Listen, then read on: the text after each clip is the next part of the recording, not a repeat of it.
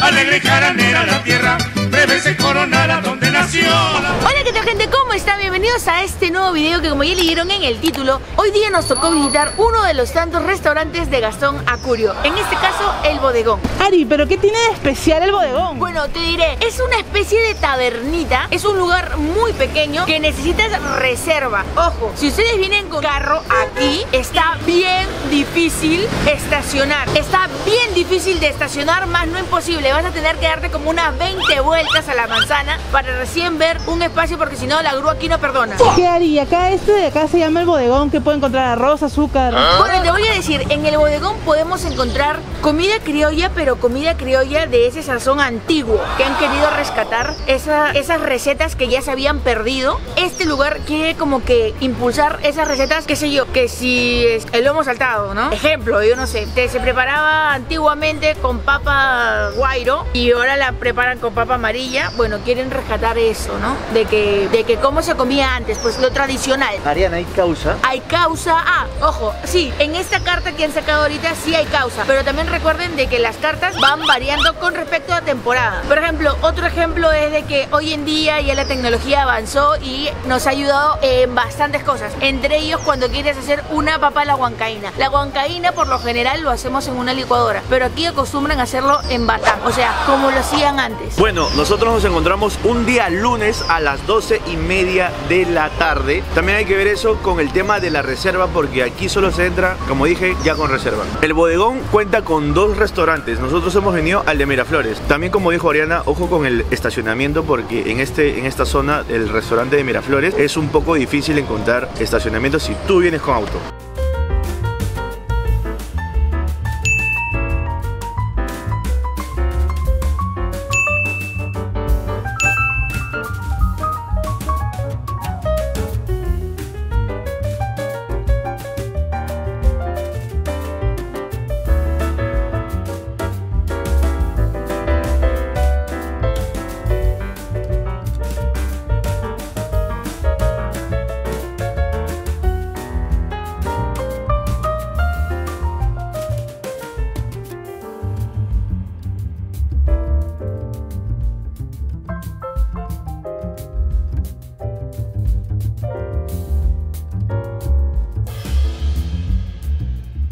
Muy bien chicos, ya nos sentamos, ya nos ubicaron. Hemos pedido tres entradas y cuatro platos de fondo. También hemos pedido una bebida que es como emblema, que se llama refresco salvavidas. Ya lo van a ver, es como que es con hierba luisa, con jamaica, y van a ver todo lo que tiene.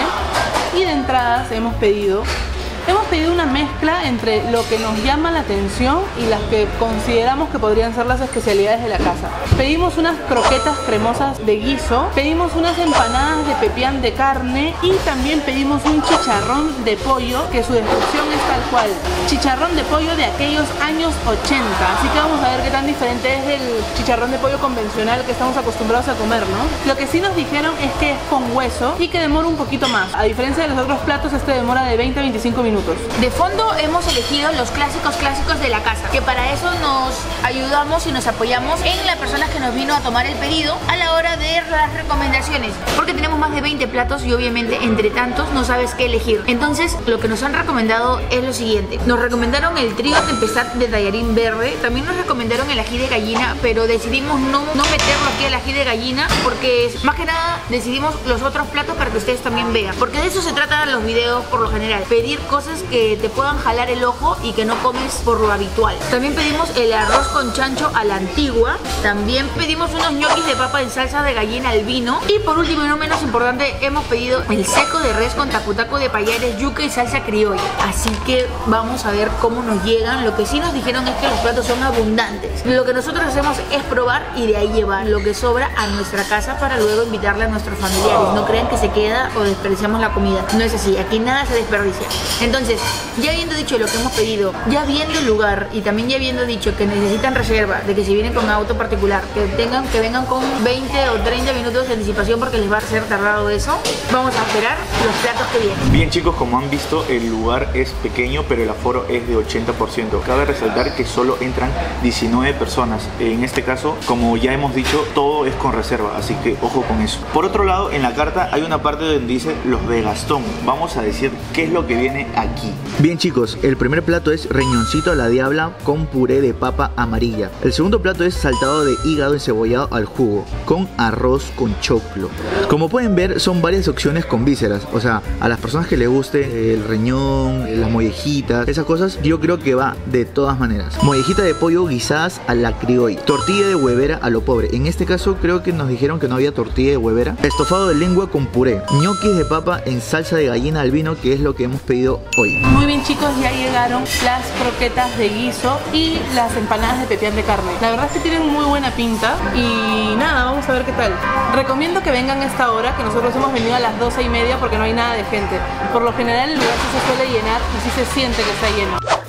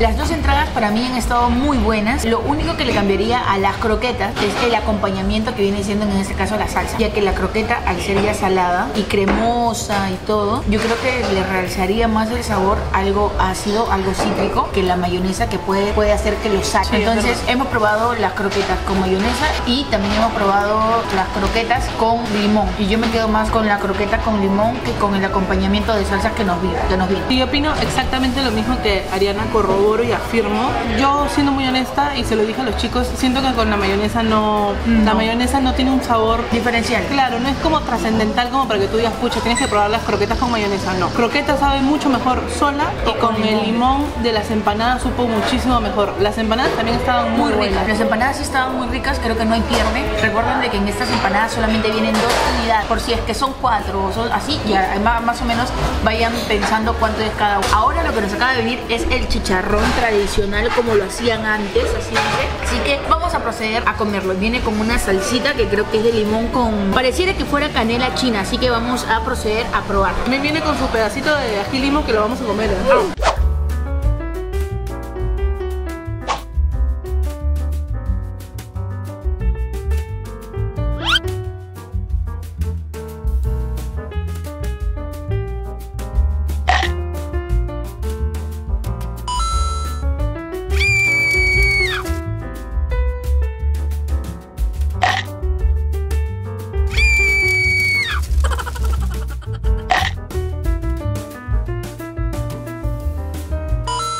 Bien chicos, hemos terminado de comer ya el chicharrón de pollo. De verdad, el chicharrón de pollo yo, a mi parecer, yo le doy un 9 Lo único que sí, la salsa es un poco salada Pero le da el chicharrón, de verdad, es muy crocante. Si es que te gusta el chicharrón, de verdad, este chicharrón tienes que probarlo porque es muy crocante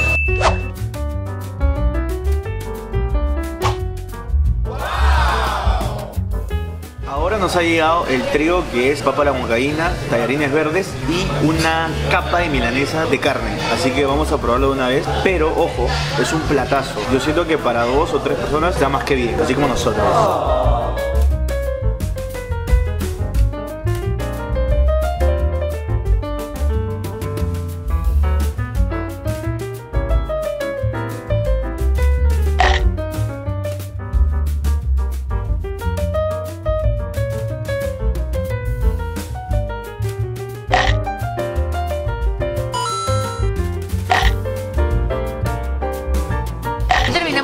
El triple. Y la verdad es que el sabor estaba muy bueno, tanto del el sabor de los fideos, el bistec súper bueno, las papas. Un contra es que viene una sábana gigante del bistec y como viene como, como tal la sábana, no te das cuenta de que es la mitad papa. O sea, el plato es grande, pero la mitad es papa y la otra mitad es fideo. Creo en lo particular que me hubiera gustado que haya más fideo que papa, porque por ejemplo, esto es lo que sobró de papa. Claro, y por lo general creo que en estos platos la papa es el acompañamiento de, pero le han puesto, y hasta a mí me pareciera, es mi percepción de que es más papa que fideo.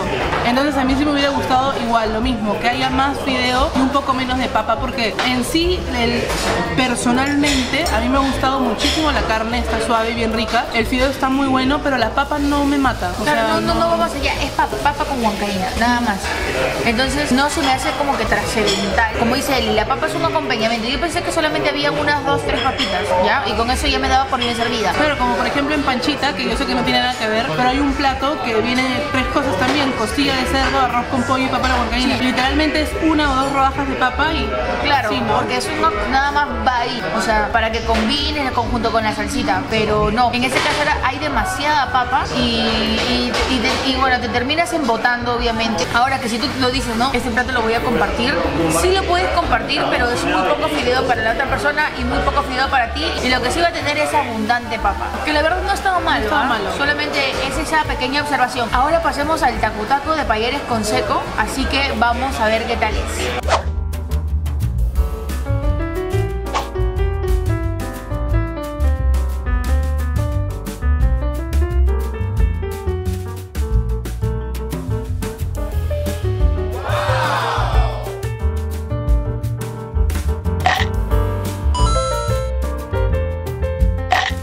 Bien chicos, ya terminamos de comer el tacutaco de payares con seco. De verdad ha estado muy bueno, la carne ha estado muy suave que se partía hasta con la cuchara. Yo le doy un 8. O sea, está bueno, me ha gustado. Ahorita estamos esperando los dos últimos platos y ya, a esperar.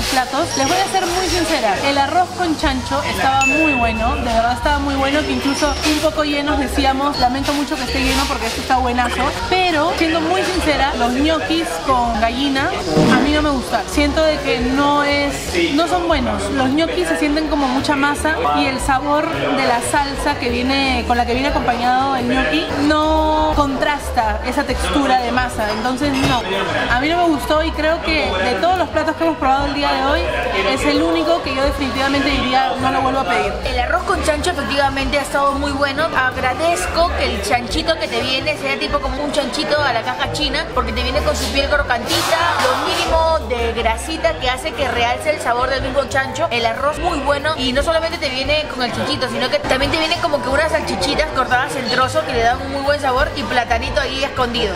El arroz con chancho se los recomiendo que, que si es que vienen acá que lo pidan porque está muy bueno y también es bastante contundente, ¿ah? Es arroz, ok, es arroz, está bien, está bien contundente. Ahora, con el tema de los ñoquis, sentí que era, o sea, yo lo que estaba comiendo era masa, o sea, lo sentí así, masudo, pero, eh, no sé, es uno de los platos que yo, por ejemplo, aquí no pediría de nuevo. Eh, lo- lo- las, otras cosas, sí, y otro que también la pensaría, por lo mismo que digo que viene más papa que fideo, es el trigo. El apanado es contundente, está bien servido, pero yo prefiero que tenga más fideo que papa, pero eso es cuestión del gusto, el gusto de cada uno. Pero hasta ahorita ese es mi resumen. Ah, otra, la, la bebida es muy buena, muy refrescante para esta época de calor, de bochorno, muy buena, muy refrescante, nos terminamos pidiendo como dos cada uno. Ahorita les vamos a decir cuánto fue lo que salió de la cuenta. Bien chicos, ya nos trajeron la cuenta, este ha sido la cuenta. La verdad es que nos ha salido esa cantidad por los platos que hemos pedido, que han sido variados para que ustedes lo puedan ver. Pero si es que ustedes vienen, pueden pedir tal vez una entrada y un plato cada uno y les va a salir muchísimo menos. Eh, La verdad es que la experiencia ha sido muy buena. Uno que otro plato, como ya dijimos, que no nos terminó de encantar, pero de ahí todo muy bueno. Y hay platos que no hemos pedido a la carta, pero que no hay pierde. También recordarles de que el ambiente es pequeño, que si es que ustedes quieren venir con su familia, por favor, con previa reserva, ya que el aforo es solamente de 19 personas, ¿ok? Ahí también midan ustedes sus tiempos. Siempre les vamos a recomendar que vengan un lunes, un martes, o sea, días no tan concurridos y que agarren el primer turno que es de las 12 y media. Y van a ver que los platos salen rápido, calientes y lo vas a disfrutar más porque probablemente seas uno de los pocos que hayan reservado a esa hora. Nuestra experiencia yo le voy a puntuar al bodegón un 8 de 10. Me ha gustado volvería, ya he vuelto, o sea, no es la primera vez que, que comemos aquí, ya nosotros hemos comido y ya sabemos la calidad de, de, comida que es. Es por ello que yo le voy a poner un 8 de 10 al bodegón. Yo creo que también le voy a poner un 8 de 10. Una que otra cosita que ya mencionamos que en realidad son cosas mínimas y nada, yo creo que sí volvería y también por qué no volver con la familia, ¿no? Para un cumpleaños, para una ocasión especial. Para una pedida de mano. Claro que sí. Entonces, David, tú. Mira, para hacer mi primera vez, yo le doy un 7, pero está muy bueno. Yo sí le recomiendo la comida, eh, el ambiente, lo hemos pasado súper chévere y también, como dijo Oriana, ya ojo con el tiempo porque como hemos venido a las 12, eh, las primeras horas, como no había nadie, los platos salieron a su tiempo. Por eso todo ok. Así que chicos, no te olvides de comentar, suscribirte, darle me gusta y activar la campanita para que cada vez que nosotros subamos videos se te avise. Sí. Un beso enorme, muchísimas gracias por ver nuestros videos, por ir a nuestras recomendaciones. Me apreciamos bastante cuando van a los lugares a los cuales nosotros vamos. Eh, etiquétennos si es que van, porque nosotros más que felices ver que ustedes van a donde nosotros también. Un beso enorme y cuídense muchísimo. Nos vemos en el siguiente video. ¡Sas!